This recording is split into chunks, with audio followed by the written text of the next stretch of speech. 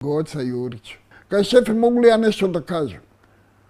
Ja, što ćeš ti kazati, jeboti amater? Mislim se, valjda hoće reći, šefe, ne mogu ja igrat zadnjeg, da, da mi ne pore, poremeti koncepciju. Ali ipak mu kažem, reci. A on kaže, šefe, jebat ćemo i majku.